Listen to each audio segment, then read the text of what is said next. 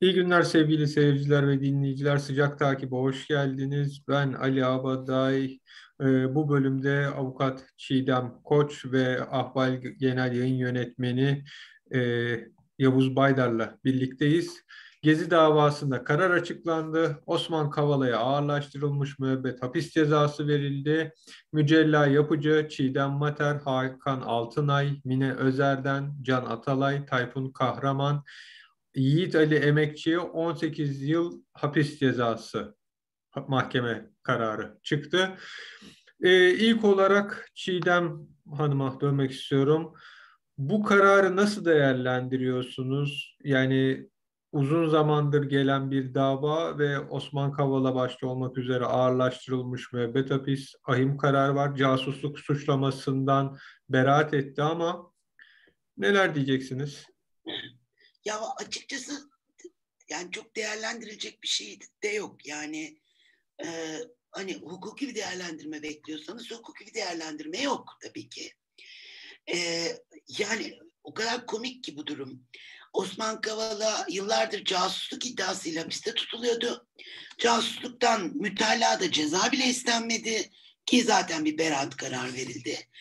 Fakat Avrupa İnsan Hakları Mahkemesi'nin ihlal kararı olan Gezi dosyasından, beraat ettiği dosyadan ağırlaştırılmış müebbet gibi bir ceza ve diğer sanıklara 18 yıl hapis cezası ve tutuklama talebi ki şu anda cezaevine götürülüyorlar. Ee, şimdi bunu bir hukukçu olarak değerlendirmek mümkün değil tabii dosyayı biliyorsanız. Bu kararı bekliyor muydunuz böyle bir karar e, diye sorabilirsiniz. Evet yani bir ceza vereceklerdi. Ee, hani o çok açıktı zaten. Ama hani beklesek bile kararı duymak başka bir, bir şey. Yani ben yıllardır avukatlık yapıyorum. Yıllardır ağırlaştırılmış müebbetle dahil bir sürü karar duydum. Yüzüme okunan kararlar oldu. Ama buna alışamıyorsunuz gerçekten de. Fakat e, bir yandan da şeyi de söyleyeyim.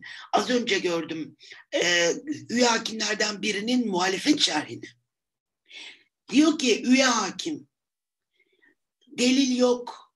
E, sadece dinleme tapeleri var. Onlar da 2014'ten önce elde edilmiş ne olduğu belli değil. Delil vasfı yok. Ve e, bu, bu, bu elimizdeki verilerle biz ceza veremeyiz diyen de bir üye hakim var orada. E, bütün bunları biliyoruz. Bütün bunları yaşıyoruz. Her gün yaşıyoruz. Ama sonuçta yani hakikaten insan ne öfkesine ne de e, o yaşadığı duyguya e, engel olamıyor. Yani nefes alamıyoruz artık çünkü. Az önce Ahmet Çık'ın bir e, açıklamasını dinledim. E, doğru söylüyor. Ya siz ne bekliyordunuz ki diyor buradan e, bu yaşananların sorumlusu ve bundan sonra yaşanacakların sorumlusu sessiz kalanlardır.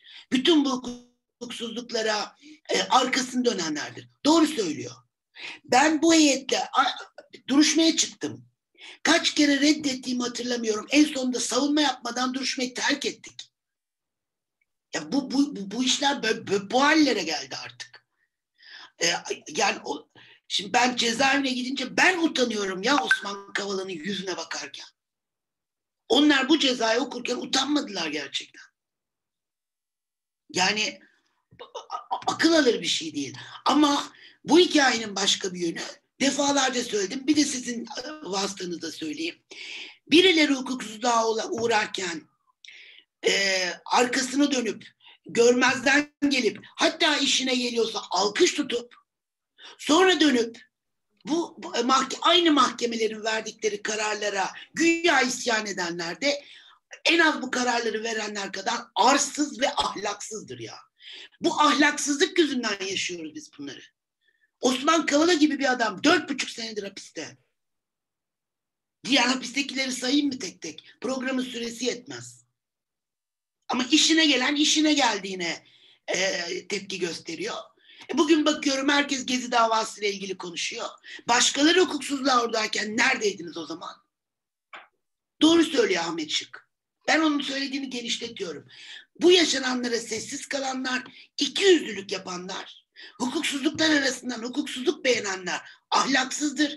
Bütün bu yaşadıklarımızın sebebi de bu ahlaksızlıktır. Hukuken yapılacak hiçbir değerlendirme yok. Delil yok, suç yok. Akıl alır gibi değil şeyler var iddianamede. Yani ben bir avukat olarak bunu hukuken açıklayamam size. Açıklayabilecek biri varsa da buyursun gerçekten. Osman Kavala uçakla adı, Kayseri'ye mi Adana'ya mı ne gidiyormuş? Aynı gün işte Henry Barkey şey Osman Kavala yurt dışına gidiyormuş. Henry Barkey de Adana'ya geliyormuş. E buna benzer saçmalıklarla dolu bir dosya.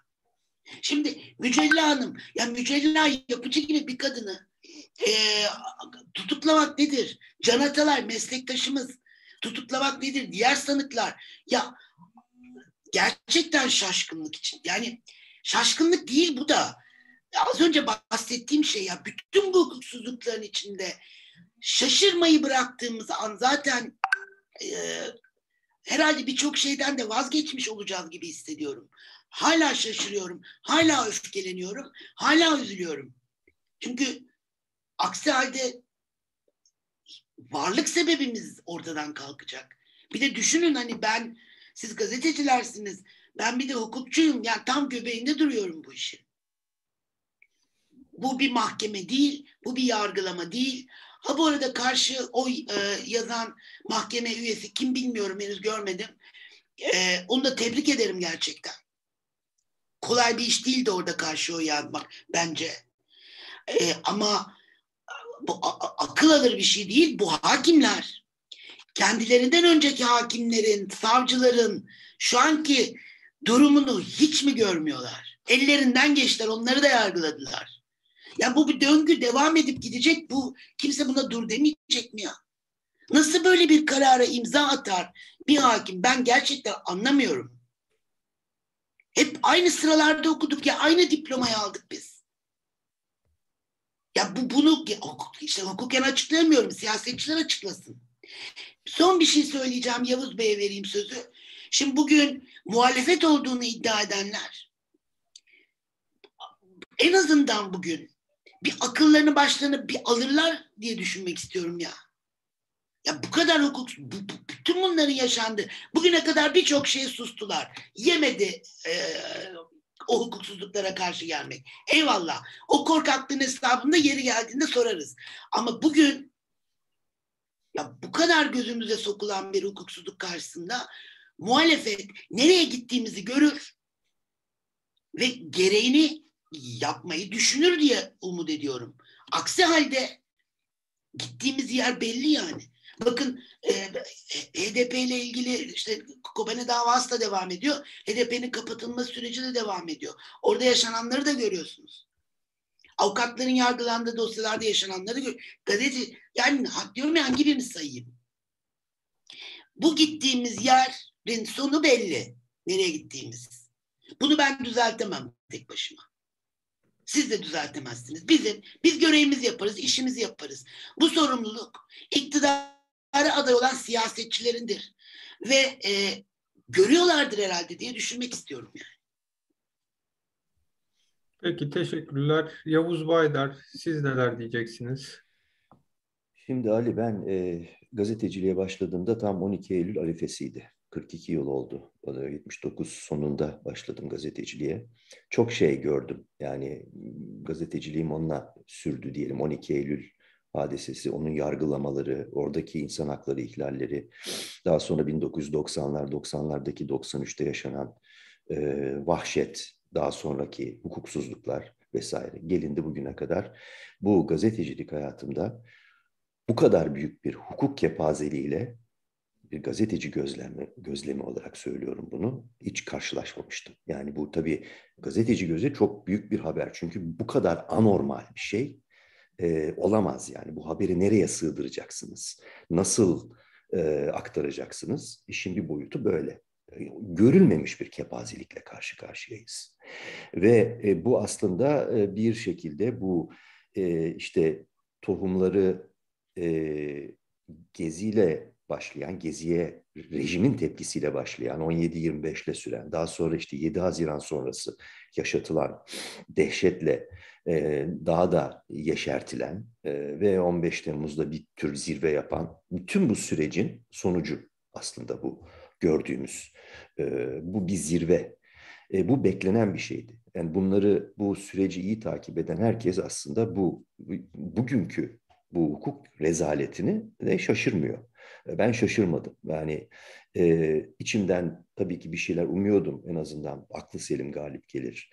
E, birazcık en azından hukuk, asgari hukuk bilgisi e, varsa hani bu belki yansır diye ama e, karar ortada. Bu dediğim gibi e, az önce Çiğdem de bunu vurguladı. E, bu, bu fotoğrafını ortaya kabaca koymaya çalıştığım e, bu sürecin aslında ülkeyi adım adım e, adını da koyalım çünkü bunu birçok kişi koyuyor. Faşizmin derinliklerine daha doğrusu yükseltilerine doğru götürme sürecidir. Bu aslında e, münferit bir e, bir dava değil. Bütün bunların hepsi e, peş peşe bir silsile halinde karşımızda diziliyor ve maalesef e, bunun bir bütünlük arz ettiğini e, görememe hali var Türkiye içerisinde. Sürekli bir e, bir bir hayal perdesi içerisinde bakılıyor ve bir takım şeyler e, geriye döner, yumuşar zannediliyor. Oysa tam tersi söz konusu.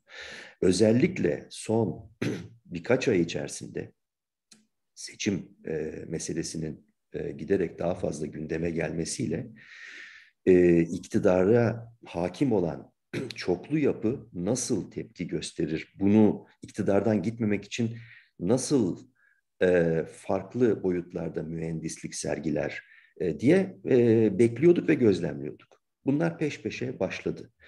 3-4 yerde bombalar patlamaya başladı. E, derken son birkaç hafta içerisinde e, fitili ateşlenmiş bir Suriyeli mülteci e, e, konusu gündeme getirildi ve bunun herkes kuyruğuna takıldı.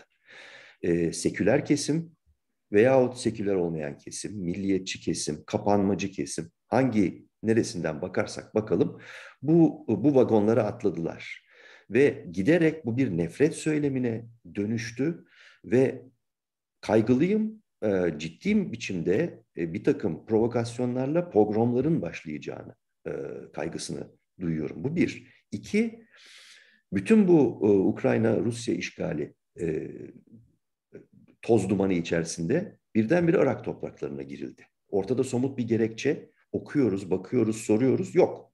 Somut bir gerekçe yok. Neden girildi Irak toprağına? egemen olduğu topraklara. Orada hayli kapsamlı bir askeri harekat sürüyor. Bunun hedefi tabii e, aslında Kürt kimliği, Kürtler. E, derken derken 24 Nisan hadisesi geldi ve birdenbire meclise yasa teklifi hani milletvekili olmanın e, gerektirdiği bir takım görev tarifleri içerisinde en doğal parça olan e, bir yasa teklifi sundu e, Garo Paylan, HDP milletvekili, Ermeni kökenli. Ve birdenbire hedef tahtasına oturuldu. Öyle böyle de değil. Yani Mustafa Yeneroğlu'yla konuşmuş. Daha doğrusu Mustafa Yeneroğlu aktarıyor. Ben aradım onu diyor. E, korkunç tehditler aldım diyor. Evine kapanmış durumda.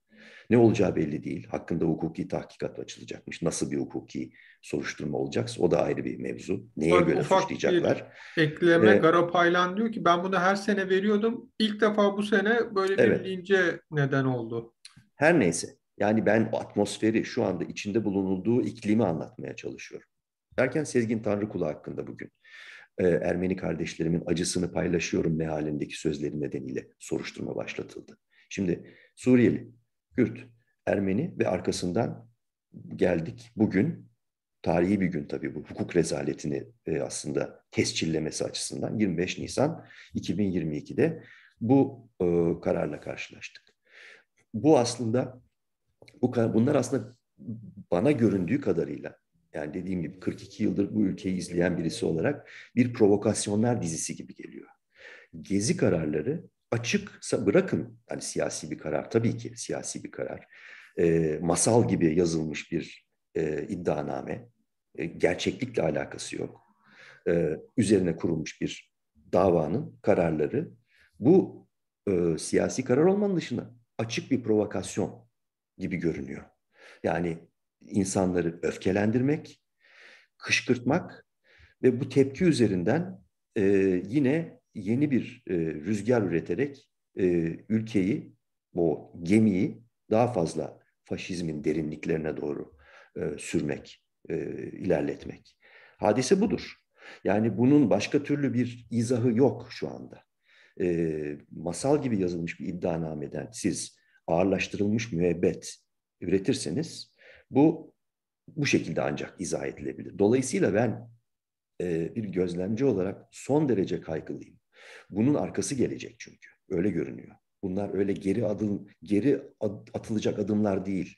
Bir takım şeyler e, fitilleniyor, ateşleniyor, tetikleniyor ve e, sürekli olarak bir yere doğru sürükleniyor ülke. E, buradan e, şunu da söyleyebiliriz aslında. Neyi yapmak istiyor iktidarı, iktidara hakim olan çoklu yapı? Çok paydaşı var bu iktidarın şu anki. Aslında ne oldu?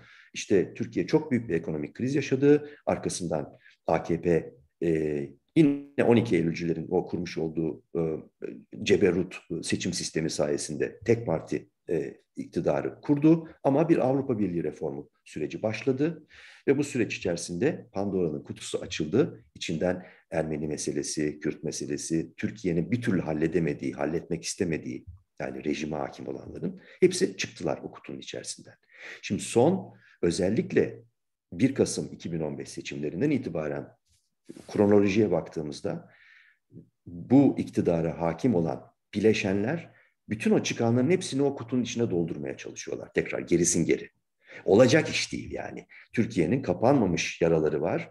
Bu yaralar kanamaya devam ediyor ve ve dediğim gibi işte Kürt meselesi orta yerde, Ermeni meselesi orta yerde. Bunlar büyük hadiseler ve tabii ki Gezi'nin sembolize ettiği bir şey var.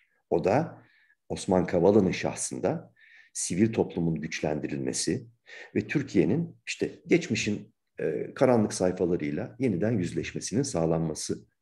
Bütün bu e, çabalar bununla ilgiliydi. Bunu cezalandırıyor aslında rejim. O e, 72 yaşındaki mücella yapıcı ve arkadaşları, diğerleri, o gezide yargılanan insanlar, bunların hepsi sivil toplumun en önde gelen temsilcileri, bir demokrasi, e, her biri birer demokrasi mücadelecisi bu kişileri. O yüzden cezalandırılanın ne olduğu belli ve amacın da ne olduğu belli genel olarak büyük resme bakıldığı vakit. Kimse hayal görmesin. E, Türkiye'de altılı masa eğer bu meselelerin üzerine cesaretle gitmezse az önce Çiğdem Ahmet Çıkın söylediklerini söyledi. Onları bir tarafa koyalım e, altılı masayı oluşturan siyasi partiler Joe Biden'ın soykırım açıklamasının e, kınanmasıyla uğraşacaklarına bu kanayan yarayı, bu hukukun ortadan kalkmasını, bu yargının bu hale getirilmesini üzerine düşünürlerse biraz daha hayırlı bir iş yapmış olurlar. Mesele biraz bu. Onu da bir tarafa bırakalım. E, bu rezalet karardan sonra Türkiye'nin baroları cübbelerini çıkartıp o mahkeme kapısının önüne koyabilecekler mi? Türkiye'nin avukatları, medyası acaba bu gelişmeyi, bu haberi nasıl verecek?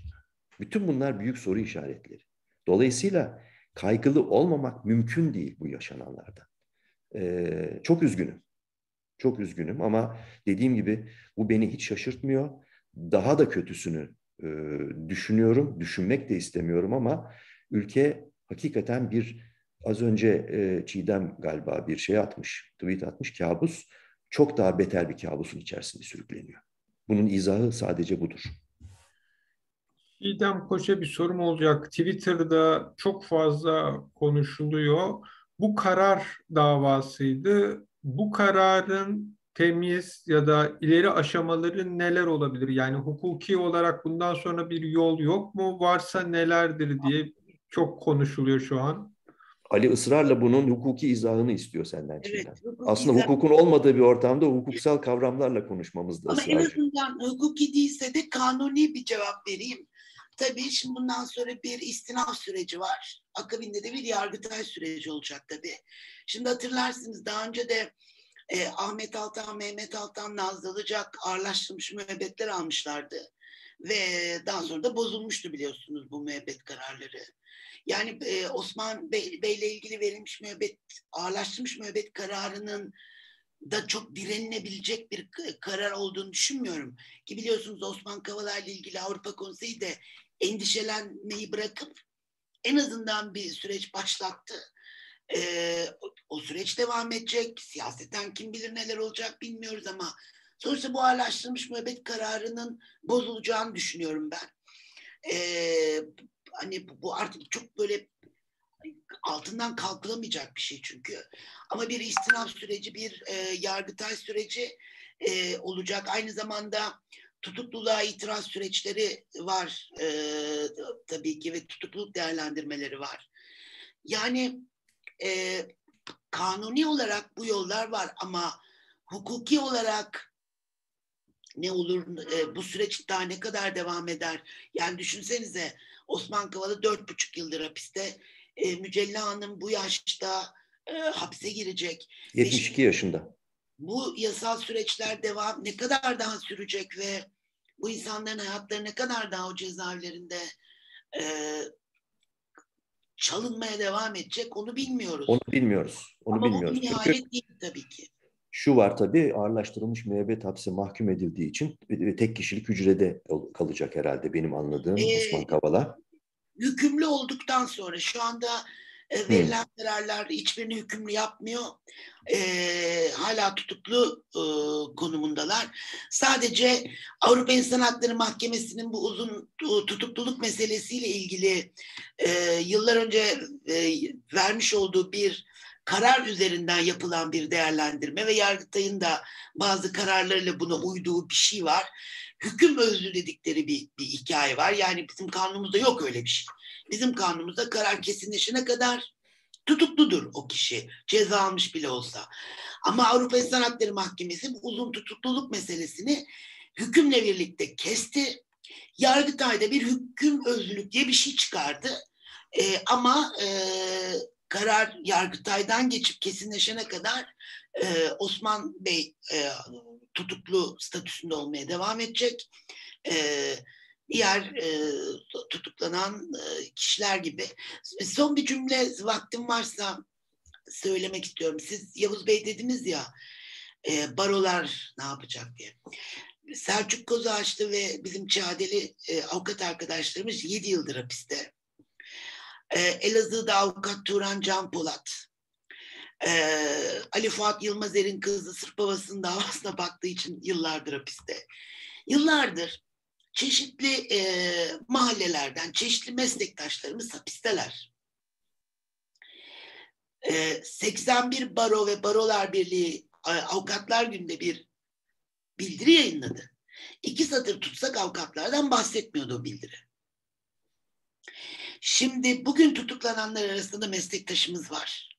Hani bırakıyorum hani bir şey. Bugün tutuklananlar arasında da Can Atılay bizim meslektaşımız. Avukat. E, avukat.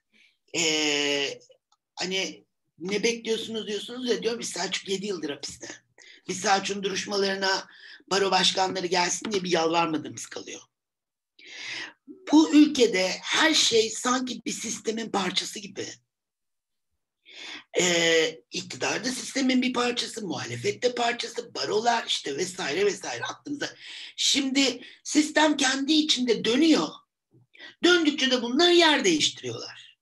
Ben öyle sanıyorum artık yani çünkü ben kendine muhalif diyen bir kanalda kendine muhalif diyen bir hukuk profesörünün e, açıklamalarını gördüm şey, Twitter'da açıklamalarını gördüm. Başka bir kanalda Nesrin Nas'a yönelik içlerinden biri hukukçu olan, avukat olan iki tane bir eski milletvekili biri milletvekili ne onu da bilmiyorum. Nesrin Nas'a nasıl davrandıklarını gördüm. Şimdi bu ülkede e, yani bu her şey sistemin bir parçası olduğu için e, ben açıkçası bir hani her şey çok güzel olacak, demokrasi gelecek duygusunda değilim. E, artık beklentilerimi alt düzeyde tutuyorum. Biliyorum, görüyorum çünkü ben bunu. Kendi muhalif diyenlerden ne olur Allah aşkına ya. Görüyorum ben o muhalif diyenlerin neler yaptıklarını. Kendi muhalif diyenlerin bazı duruşmalarda neler yaptığını da biliyorum. O yüzden asgari bir talebim var. Bu insanlar hapisten çıksın. Biz de bir duruşmada karşımızda bir hakim var zannedelim de hani biraz bu işler düzelsin. Yoksa Kaç kişinin derdi demokrasi bu ülkede? Gerçekten demokrasi. Kaç kişinin derdi sahiden bir herkes için adalet, hukuk devleti bilmem ne. Yok ki böyle bir şey. Yani şu... o yüzden de ne yani böyle yüksek beklentilerim yok Ali. Yani e, sana senin sorduğun soruya dönerek cevap vereceğim. Yasal olarak e, hiçbir şey bitmiş değil. Ama hukuki olarak e, yaşanacak sürecin uzunluğunu ve olası bir seçimde ki sonucun durumunu kestiremediğim için bunu bilmiyorum. Ama e, yasal olarak hala CMK e, yürürlükteyken söyleyeyim en azından. Evet bir istinaf ve arkasından bir yargıtay süreci var. Burada tutukluluk itirazları, tutuk incelemeleri var. Ee, hani bu süreçte her şey olabilir Hukuken söylemiyorum bunu. Davanın hukukla bir ilgisi yok. Ama Osman Kavala ve diğerleri yarın da tahliye olabilir. Tahmin etmek istemediğim kadar uzun bir süre sonra da. Şimdi bir de şu var tabii yani yargı e, işgal altında ama diyeceksiniz ki eskiden öyle değil miydi? Eskiden de öyleydi elbette 90'larda e, işte 80'ler 90'lar çeşitli kimliklerin e, işte çeşitli köşeleri tuttuğu bir yerdi yargı maalesef ve bir türlü toparlanamadı. Toparlamaması yüzünden zaten ülke krizden krize sürüklendi. İşte mason kimliği, e, Kemalist kimlik, milliyetçi kimlik, ülkücü kimlik, Gülenciler vesaire bunlar hep e, içeride didiştiler. Çeşitli alan mücadeleleri verdiler ve gelindi işte en son en büyük kırılma en büyük kırılma yaşandı. En büyük kırılma da işte 15 Temmuz. Ondan sonra farklı bir istila işgal hareketi yaşandı. Çünkü bir tasfiye hareketi yaşandı. Dolayısıyla onun yerine yeniden farklı bir e, hakimiyet tablosu gördük. Bir konuş geçenlerde işte bir toplantıda yine hukukçularla e, bir araya geldiğimizde e, epey bir soru sordum ve öyle anlaşılıyor ki kilit noktaları ülkücü kimlikli yargıda, yargıdan bahsediyorum, e, yargıçlar, yani kimlikli kişiler, bürokratlar tutmuş vaziyette. Şimdi bu yapıdan zaten eğer böyle bir kilitlenme varsa herhangi bir şekilde bu yapıdan umut ışığı beklemek gerçekçi olmayacak herhalde. Bu zaten bize şu anki gelişmeler bunu gösteriyor. Bugün yani bugün ne yapıyoruz? 25 Nisan konuşuyoruz. Ee, hemen gezi e, kararlarının çıkmasının ardından tesadüf ya da değil, önemli değil zaten. E, Cumhurbaşkanı Erdoğan HDP'nin kapatılması isteğini, eğilimini açıkça belirleyen bir, bir takım sözler sarf etti. Şimdi bundan sonra beklememiz gereken, bundan sonra beklememiz gereken hadise öncelikli olarak Sezgin Tanrıkulu ve Garo Paylan'ın dokunulmazlıklarının mecliste e, bazı muhalefet partilerinin de desteğini sağlayacağını zannettiğim bir süreç sonucunda kaldırılması, ardından diğer HDP'lerin belki dokunulmazlıklarını kaldırılmasıyla devam edilmesi ve hızlandırılmış bir HDP kapatma süreci. Yargı eğer belli politize olmuş, partizan bir kesimin eline geçtiyse bu kadar e, yoğunlaşmış bir şekilde buradan hiçbir şey çıkmaz. Bu, bu ancak ancak çok köklü bir e, demokratik değişimle olacak e, demek gerekir. O da ufukta görünen bir şey değil. Bugün Anayasa Mahkemesi Başkanı'nın açıklamalarını e, dinlemişsinizdir herhalde. Diyor ki yani işte çok başvuru var. 47 ülkenin işlerine bakan ayından daha büyük bir şey var. Acil müdahale gerekir. Ya bu kadar hukuksuzluk olursa tabii ki Anayasa Mahkemesi için işler patlar. Ayrıca Anayasa Mahkemesi'nin kendi verdiği hukuksuz kararlar ne olacak? Ben yani. size çok basit bir örnek vereyim. Bugün e, Selçuk Kozağaçlı e, fezlekesini ve iddianamesine ya, o, onun hapiste olmasını sağlayan e, insanların bazıları yan yana yatıyor cezaevinde. Şimdi e, ya bu böyle dönecek işte yani yarın başkaları... Ben de onu söylemeye çalışıyorum. Yani bir kısır döngü meselesi var orta yerde ve buradan dediğim gibi eğer e, tabir caizse ele geçirilmiş bir yargı söz konusuysa ve iktidardan gitmek istemeyen bir iktidar e, kadrosu söz konusuysa buradan hakikaten kaygılanmamak için hiçbir sebep yok orta yerde. E, bir tek şey kalıyor onu da söyleyeyim ondan sonra toparlayalım. Epey konuştuk Ali. Yani e, şimdi e, bu kararlar ardından Avrupa İnsan Hakları Mahkemesi çerçevesinde Avrupa Konseyi'nin ne yapacağına bakacağız. Haziran ayında bir toplantı daha var. Şimdi bu mahkumiyet kararları geliyor, geldi daha doğrusu. Ee, konsey burada ne yapacak? Çünkü Rusya Avrupa Konseyi'nden çıktı, çıkarıldı, çıktı. Askıya alındı ama artık orada değil. E, geriye kalıyor e, işte şu anda insan hakları ihlalleri konusunda zirveyi yakalamış görünen Türkiye. Ama e, şu da anlaşıldı ki konseyden bir takım ülkeler konsey tarihinde görülmemiş bir şekilde çıkartılabiliyor. İşgalci Rusya bunu yaşıyor şu anda. Şimdi burada ne olacak? Bu benim için bir soru işareti. Ya bu e, bir şey getirir mi Türkiye Avrupa Konseyi ilişkilerinde hukuk lehine? Hani e, evrensel hukuk lehine bir şey getirir mi, getirmez mi? Bunu göreceğiz. Beni umutlandırmayan şey Ankara'daki zevatın körleşmiş bir ezberle direnmeye, inada devam etmesi. Meydan okuyorlar sürekli olarak. Şimdi yeni bir meydan okuma dalgası daha gelecek buna. Adalet Bakanı başta olmak üzere. Türkiye yargısı bağımsızdır. Herkesi buna saygı duymaya davet ediyoruz. Mealinde konuşmalar dinleyeceğiz önümüzdeki günlerde. Gezi kararlarına gelen tepkiler ardından. Dolayısıyla yani e, umutsuzluk değil bu. Gerçekçi olmak için her türlü sebep var elimizde. E, dolayısıyla burada e, biz eleştirilerimizi gazeteci olarak, hukukçu olarak ortaya koyarız. Ama bütün bu eleştirilerin, gözlemlerin siyasette bir karşılığı yoksa değişim anlamında, iyiye doğru değişim anlamında, e, dolayısıyla biz burada sadece kaygı duymaya devam etmekle yetinmek e, zorunda kalırız. Söyleyeceklerim bu kadar. E, istersen burada yavaş yavaş toparlayalım Ali. Evet, e, sevgili izleyiciler ve dinleyiciler, Gezi davasında bir kesimin beklediği, bir kesimin bu kadar olmaz diye düşündüğü kararlar açıklandı. E, yayını kapatırken tekrardan hatırlatmak istiyorum. Osman Kavala'ya ağırlaştırılmış müebbet hapis cezası verildi. Mücella Yapıcı, Çiğdem Mater, Hakan Altınay, Mine Özer'den, Can Atalay, Tayfun Kahraman, Yiğit Ali Emekçi'ye de 18 yıl hapis cezası verildi ve tutuklanmalarına hükmedildi. Mahkeme tarafından şu anda şu anda hapishaneye götürüyorlar. Cezaevine gidiyorlar. Türk hukuku için kara bir gün. Ee, Çiğdem Koç ve Yavuz Baydar yayınımıza katıldığınız için teşekkür ederiz. Gelecek yayınlarda görüşmek dileğiyle. Hoşçakalın. İyi günler.